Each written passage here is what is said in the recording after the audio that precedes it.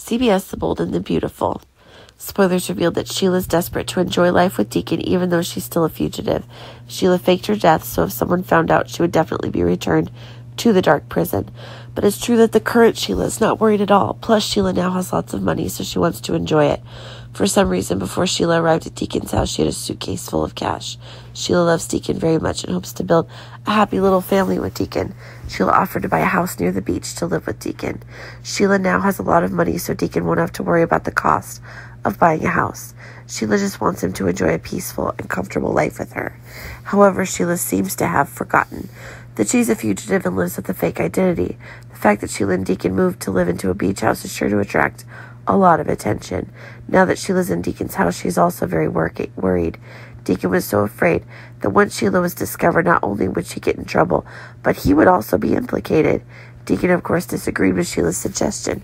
It was too risky a decision, and Sheila better let it go. Fans should prepare to welcome not only one character, but two people. Rick will return with Caroline to Los Angeles. Rick is still acceptable, but Caroline is sure to surprise everyone. Some time ago, Thomas and Caroline took Douglas out of Los Angeles to live in another city. However, Thomas brought Douglas back and informed everyone that Caroline was dead. Yet now she appeared in the town in the flesh. Did Thomas lie to everyone about Caroline's death?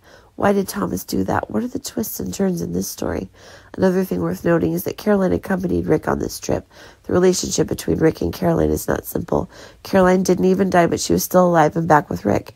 Maybe that's why Thomas didn't want to mention Caroline in front of everyone. It seems that Rick still accepts to forgive Caroline even though she betrayed him before. Caroline used to be Rick's wife, but then she was robbed by Ridge. Thought Ridge and Caroline would have a happy life, but Ridge met retribution soon after. Caroline continued to betray Ridge and went to bed with Thomas. Douglas is the son of Caroline and Thomas after the night of their affair.